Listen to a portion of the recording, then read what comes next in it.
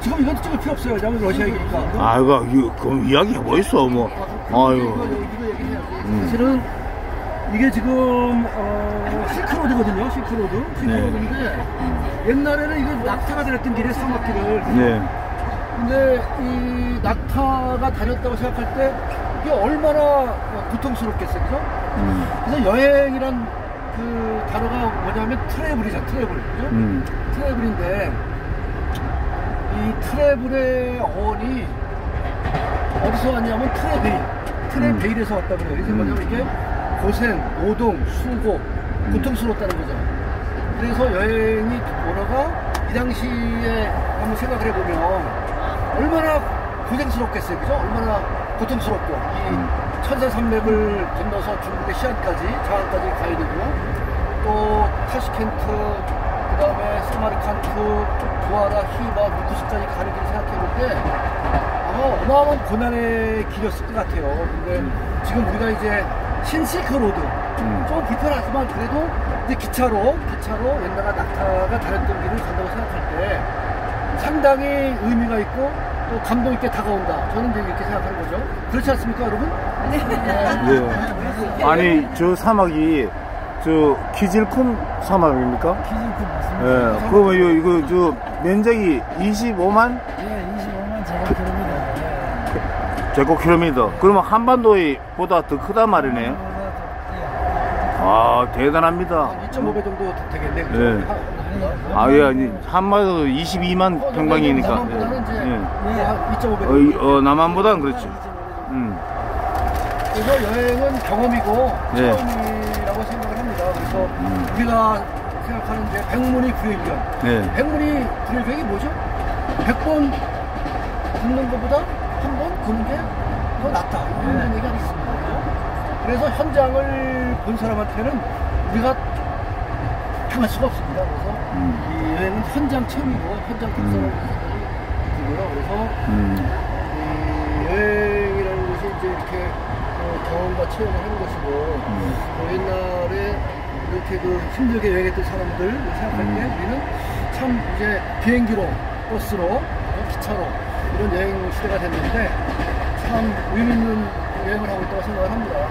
자, 여행은 궁극적으로 어, 행복한 것을 추구하는 것 같아요. 우리 우리 박익기 대표님께서 어제 저녁에 히바에서 우리가 네. 아주 히, 바 이찬 칼라 내성을 보면서 네. 우아한 만찬, 품격 있는 만찬을 했는데 그때 무슨 말씀하셨냐면 인생에는 다섯 가지 복이 있다. 첫째, 첫째 건강 회복. 둘째, 둘째 가정의 행복, 가정의 복이 있고. 셋째, 경제 회복, 물질 회복, 재물 회복이 있는 것이고. 네 번째 뭐라 했습니까? 부모, 음. 친구 회복이 있다는 거죠. 그리고 어, 다섯 번째 일거리, 취미 회복이 있다는 건데 아, 그게 저는 상당히 의미 있게 다가왔어요. 근데 마지막에 여섯 번째 복은 뭐라 그러냐면 복이라 했어요. 복. 네. 여행을 할 때 정말 우리가 행복해지는 것 같습니다. 이렇게 그 신- 실크로드 여행 음. 그래서 어떻게 보면 이게 하나의 답사면서도 순례가 아닐까 저는 이렇게 생각을 해요 그죠?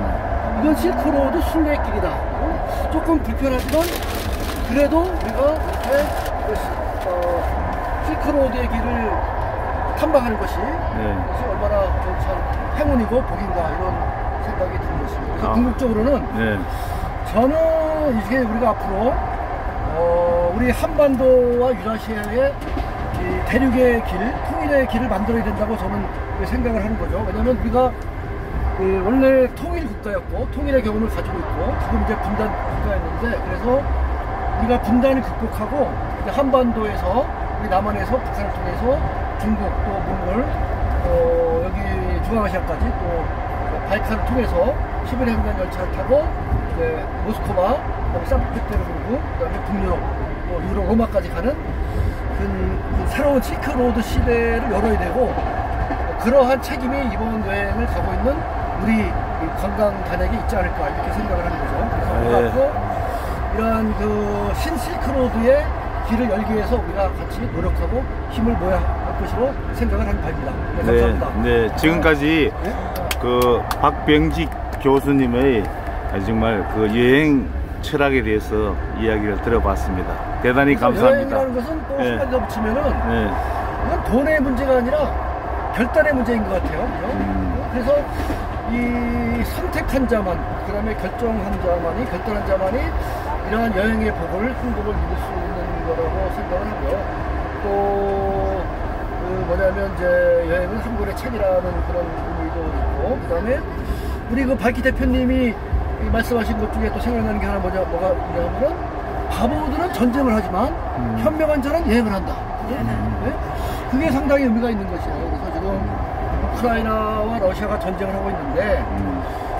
이 전쟁을 빨리 끝내고 그 평화로운 시대가 와서 우리가 이 자유로운 평화로운 세계의 여행의 시대를 만들어야 되지 않나 이렇게 생각을 어, 하는 것입니다. 지금 기질품 사막을 보면서 끝없는 사막의 길을 가고 있습니다. 낙타가 갔던 길을 지금 기차가 가는데 이것도 낭만적이고 너무나 소중한 경험입니다. 이상입니다.